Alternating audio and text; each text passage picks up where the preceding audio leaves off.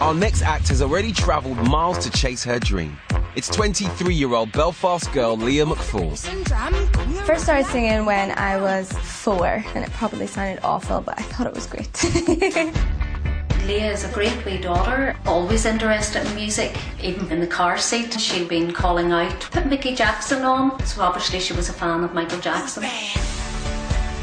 I always knew I was going to do singing as a career. Did my first solo when I was six in my church. I did various competitions growing up, and when I was 20, I decided that I wanted to be in London for singing. She's left a huge hole in our lives, not living at home in Northern Ireland anymore.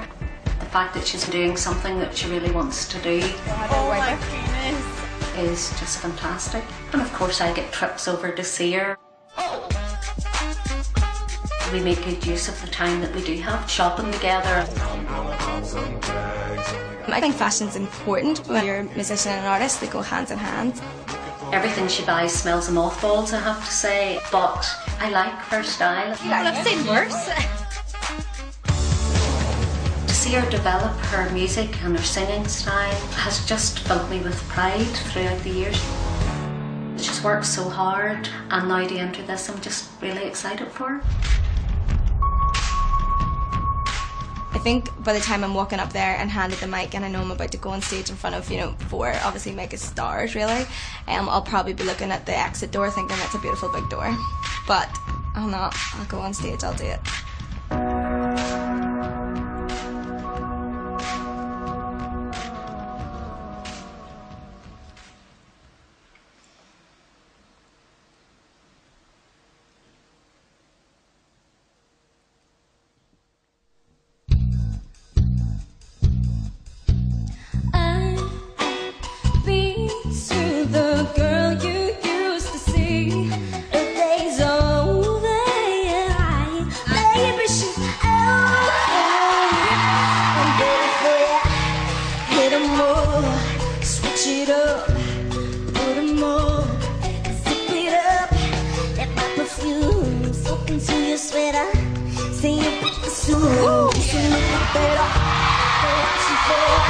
I run this game, play a role, follow my lead and what you waiting for?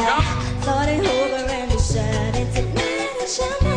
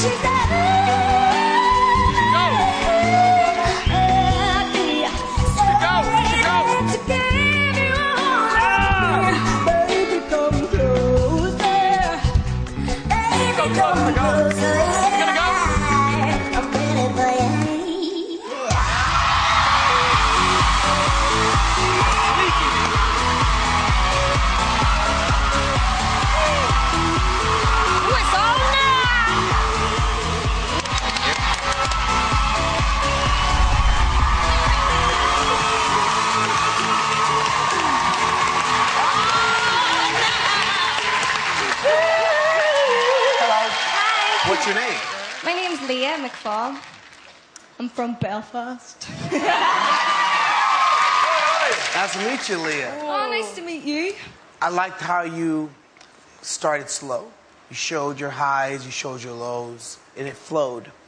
You had a, a lot of style and class and soul. you Um, writing a song. no. Every part that rhymes. Oh, it did? It did, yeah. Oh, I didn't even know. I didn't even know. No, but So- really, Leah? Whoa.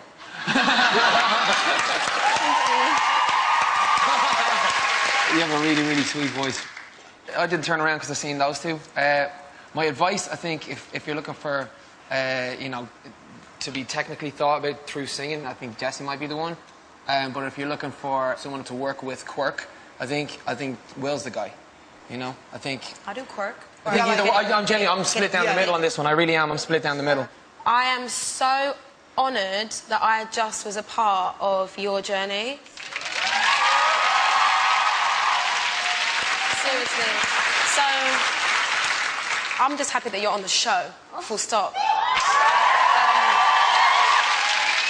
I think you're very special, and I would work hard for you. And I think you'd be an asset to not just my team, but this show. So congratulations. The obvious coach for you is Jessie. Why? So for me to, com- I'm talking to her. So for me to compete with the obvious, I have to work extra, extra hard. Yeah. Metaphor is this: looks like a duck, quacks like a duck. It probably is a duck. So for me to hang out with the Eagles, the duck that looks like a duck has to work extra hard. So I have to work extra hard for you. Because the obvious choice is, is Jessie. Is a duck. It's totally. You don't get it. Uh, no, I'm sorry. It was a, it was a, it Oh, I wouldn't get it. I'm, I'm, not, I'm, not, I'm not. No one in the charts right now sounds like you. That's why we're doing this show. To find people that are brand new and deserve to be doing what they want to do as an artist. Here, here. You've got a big choice to make here, then. I really don't know. Can you say more things? Wait, wait. Let's do a show of hands. Let's do a show of hands.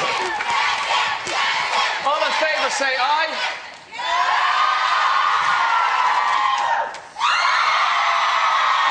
I don't know. I don't know. I'll leave it up to you.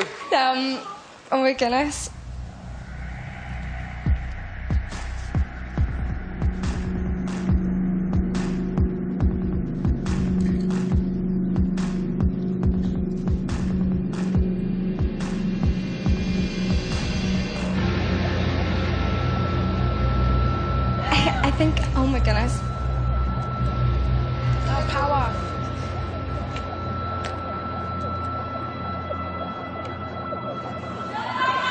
I'm gonna go with Will.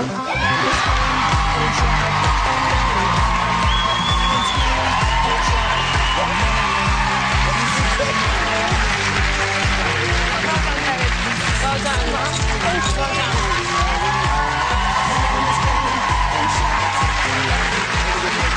She's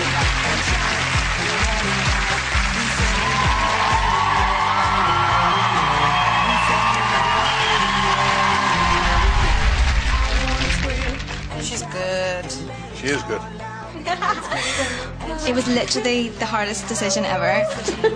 I do feel a little deflated right now that every single person that I've really, really, really wanted and rooted for, that they've gone with Will or Danny or Tom. So a despondent Jessie takes stock as she's turned down by yet another girl.